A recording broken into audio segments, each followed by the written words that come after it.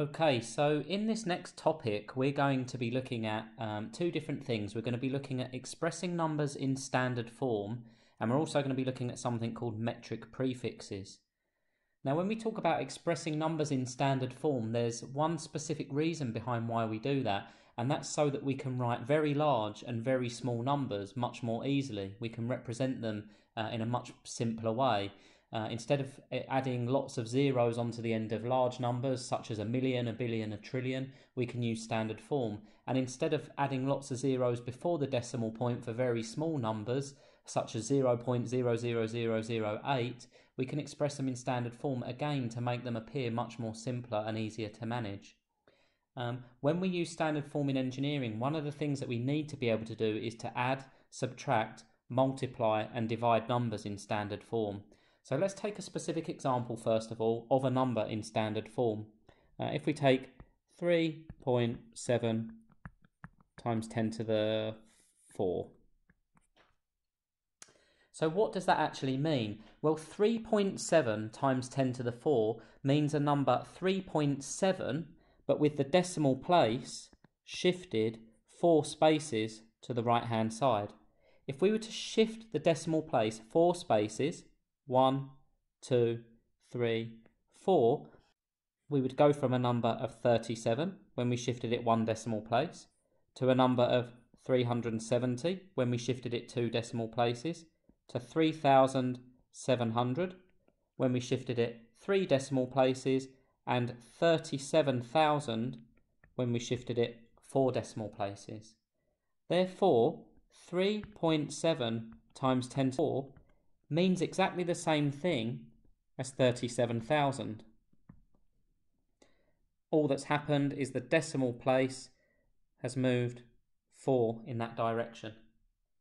We can take another example. This time we'll go for a small number. This time we'll go for 5.4 times 10 to the minus 3. Now all this means is we've taken the number 5.4 and the decimal place has been shifted 3 backwards. 1, 2, 3. So when we shift the decimal place 1 backwards, we get 0.54. When we shift the decimal place 2 backwards, we get 0.054. And when we shift it 3 decimal places backwards, we get 0.0054. The number 5.4 times 10 to the minus 3 is the same as the number 0.0054. The only difference is that the decimal place has moved back one, two, three places. Since we're discussing standard form, let's look at what it means to actually express a number in standard form. Whenever we use standard form, the first part of the number is always a decimal, and that decimal is always between 1 and 9.9. Okay, so it's always a decimal that's less than 10 but more than 1. You do see other formats of numbers, but when we truly express something in standard form, that first number or that first part of the number is always a number between 1 and 9.9. There's various different examples. It could be 6.8, it could be 9.7, it could be 1.2. The second part of the number is made up by multiples of 10.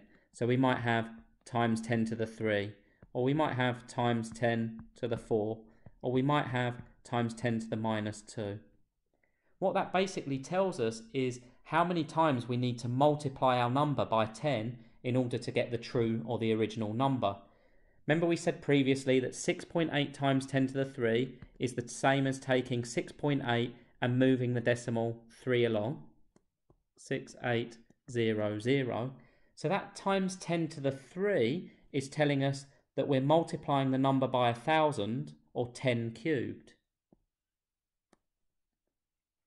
Now 9.7 times 10 to the 4 tells us that we're taking the number 9.7 but it's actually being multiplied by 10 to the 4 this time or 10,000 which would give us 97,000 and 10 to the minus 2 what means that we're dividing by 10 squared or we're taking the decimal place back 2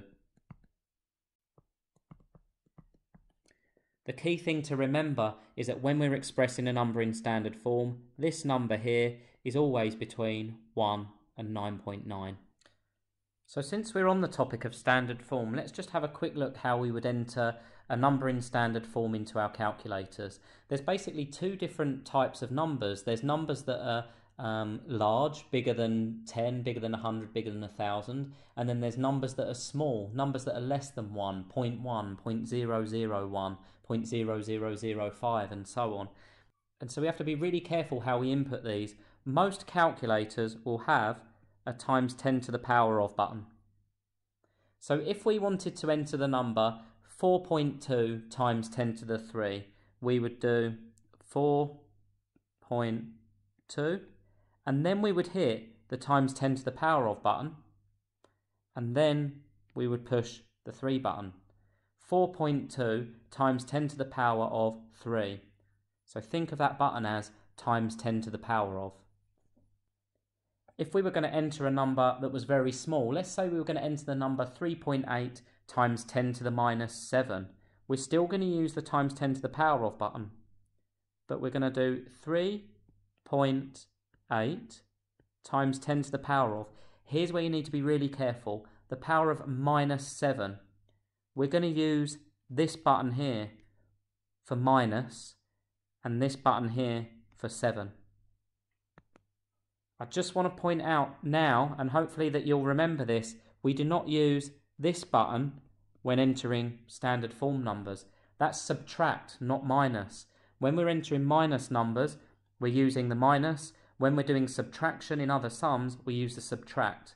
So when we use standard form, when we do standard form, it's always this button here that we press when we're entering 10 to the power of a minus number. So now that we know how to input standard form into our calculators, we can begin to do some sums involving standard form. So let's start off with a multiplication. We're going to do 3.8 times 10 to the minus 2 times 1.8 times 10 to the 6. Using the method I've just shown you, we're going to input that into our calculators. So, so 3.8 times 10 to the power of button minus 2, and that's minus not subtract, times 1.8 times 10 to the 6. And that gives you a number of 68,400. But if we want to express that number in standard form, then what we need to do, first of all, is move our decimal. We're going to have 6.84, and the times 10 to the power of this time is 1, 2, 3, 4 times 10 to the power 4.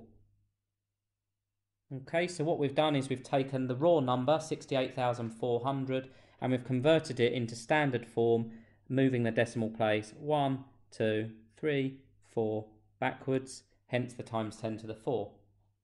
Let's do another one of these. We'll do 6.7 times 10 to the 3 times 2.7 times 10 to the minus 8.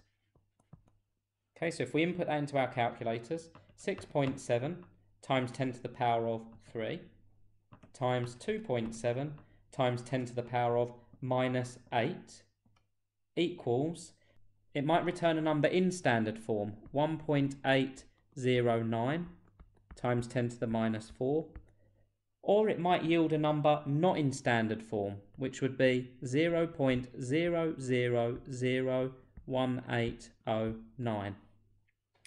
If it returns the second option there, and we want to convert it into standard form, then we can see that our decimal place has gone back one, two, three, four places.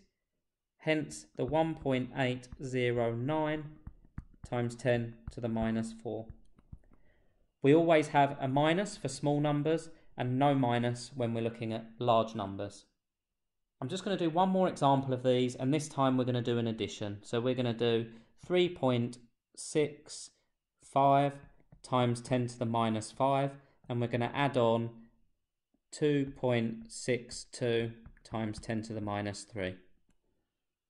Okay, what we can see is this number here is a lot smaller than this number here. So when we do the sum, 3.65 times 10 to the minus 5 plus 2.62 times 10 to the minus 3, we get a number of 2.6565 times 10 to the minus 3. Okay, the number is a lot closer to this second value because this first value here is very, very small in comparison to the second. Now you know how to work with standard form on your calculators, you should be able to attempt some of the questions below.